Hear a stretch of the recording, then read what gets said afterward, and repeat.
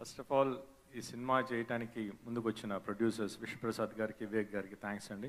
ఎందుకంటే first cinema start అయ్యి నుంచి ఇప్పటిదాకా ఎక్కడ ఏమాత్రం ఒక సినిమాకి ఏం కావాలో ప్రతిదీ సమకూర్చి ఇంత బాగా చేసినందుకు చాలా చాలా thanks the same time Vasu నేను థర్డ్ సినిమా ఇది.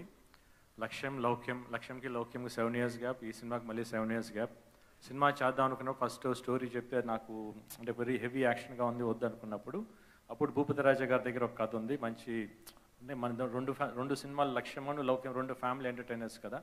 కొంచెం అట్లాంటి సినిమా చేస్తే బాగుంటుంది అనుకున్నప్పుడు భూపతి రాజా గారి కథ ఇచ్చారు. ఆ కథ విన్నప్పుడు బాగా నచ్చింది. ఈ కథను నేను చేద్దాం అన్నప్పుడు దాంట్లో ఇంకా మధు మర్చిపోయే వాసు నువ్వు అబ్బూరవి గారు కూడా దీనికి చాలా హెల్ప్ చేశారు. ఆయన కూడా డైలాగ్స్ రాశారు. డైలాగ్స్ మొత్తం స్క్రీన్ ప్లేకి కానీ మధు భూపతి రాజు వీళ్ళందరూ కూర్చొని చేశారన్నమాట చాలా బాగా వచ్చింది. మిక్కీ జే మీద ఫస్ట్ టైం మిక్కీతో చేయటం. ఈవెన్ సాంగ్స్ నేను ఫస్ట్ అన్ని మెలోడీ సినిమా అంటే లవ్ స్టోరీస్ కదా తను చేసేది అనుకున్నాను. But he did a fantastic job చాలా మంచి మంచి సాంగ్స్ ఇచ్చాడు. ఆల్రెడీ సాంగ్స్ రిలీజ్ అయినాయి. మంచి రెస్పాన్స్ వచ్చింది.